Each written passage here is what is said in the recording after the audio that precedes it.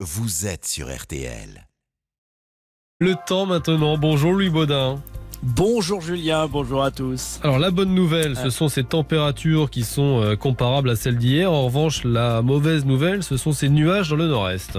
Oui, c'est vrai, pour la rentrée, il y aura un peu plus de nuages dans les régions proches des frontières du nord-est, donc sur euh, la région euh, du Pas-de-Calais, sur la Champagne-Ardenne, sur la Lorraine, sur l'Alsace. C'est vrai qu'on a déjà ce matin un ciel un petit peu plus nuageux. Bon, ces nuages sont pas très actifs, donc pour l'instant, il n'y a pas de précipitation et ça devrait rester comme ça tout au long de la journée. Mais c'est vrai que de ce côté-là, on verra un peu moins le soleil. C'est-à-dire qu'on le verra pas du tout, mais on le verra quand même beaucoup moins. Donc la limite de ces nuages qui progressent donc d'est en ouest, un peu à l'envers de d'habitude, ça devrait être l'île de France. Ça s'arrêtera aux portes de l'île de France, de la Bourgogne ou encore de la Franche-Comté, où là en revanche on conservera un ciel un peu plus ensoleillé, mais fini quand même le ciel tout bleu d'hier.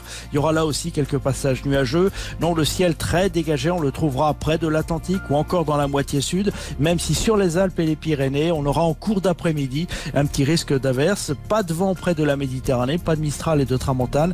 Et puis côté température, alors euh, sous les, nuages, on a des températures plus élevées qu'hier, plus de 10 degrés dans le nord-est, mais on a encore, là où le ciel est dégagé, des valeurs assez basses ce matin. 6 degrés au Puy, 7 à Guéret, 8 degrés à Mont-de-Marsan, à Nevers ou encore euh, à Mende. Mais cet après-midi, vous l'avez dit, les températures seront comme hier, donc encore largement de saison, voire au-dessus. On sera entre 22 et 25 degrés au moins dans la moitié nord et 25 à 30, voire 31 degrés dans la moitié sud. Merci Louis.